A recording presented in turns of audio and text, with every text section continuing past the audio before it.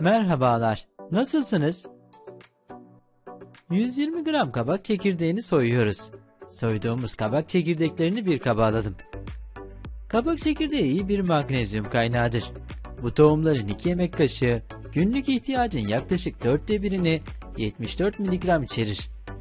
Çalışmanın sonuçlarına göre vücutta yüksek düzeyde magnezyum kemik yoğunluğunda bir artışı teşvik eder ve iyileştirir.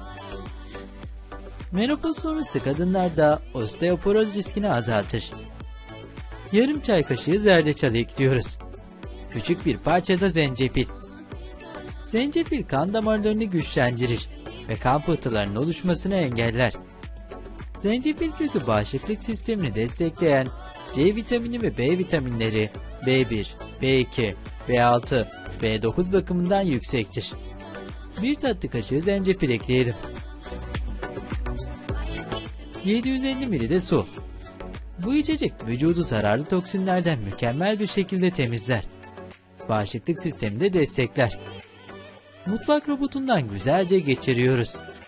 Süzüyoruz ve bir tatlı kaşığı bal ekliyoruz. Karıştırıyoruz. Sabah kahvaltı niyetine 1-2 bardak içiyoruz. Ancak alerjik reaksiyonları unutmayın. Bu nedenle eğer besinlerden birine alerjiniz varsa doktorunuza danışmayı unutmayın.